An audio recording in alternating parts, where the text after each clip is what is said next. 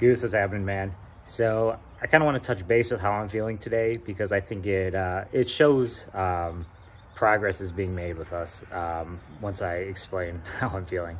Um, before that, I do want to say thank you. I know those pictures, um, they really did turn out really, really good. So, um, you know, it wasn't cheap to be honest, like, but um, it was worth it, I think, to have those because that that lady did a really, really nice job. So uh, I'm really happy about those. Um, so yeah, you should do that. I think um, I think you'll you won't regret it. I don't think anyway. So um, also the house, you know, especially the bathroom looks awesome.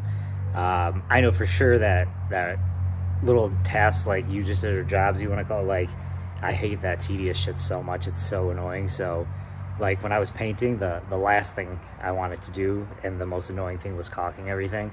It's kind of the same thing. You're just going line by line and like, I hate that shit. So, you know, props for doing that. I think you're, I mean, definitely a good move. Like, so you don't have to worry about it for a while, like a long time. Um, so good job. Um, you should feel good about that one for sure.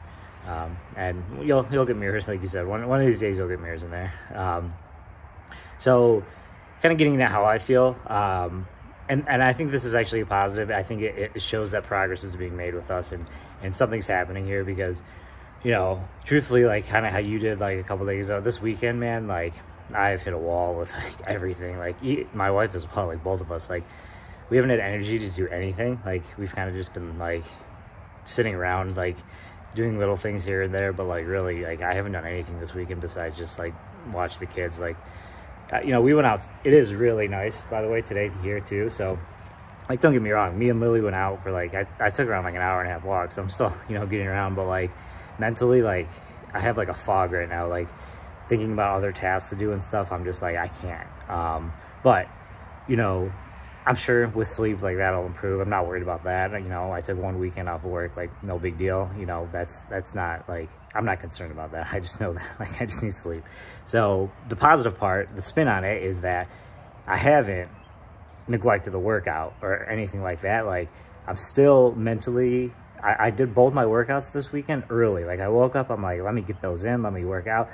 You know, today I did the bare minimum. I, am just, that's what I'm at today. But yesterday I did a hard workout. So point being is I think that this is working because I could have, I could have been just like, bro, I don't have it in me. I'm not going to do the workouts either this weekend, but I'm like, no, I'm going to do it.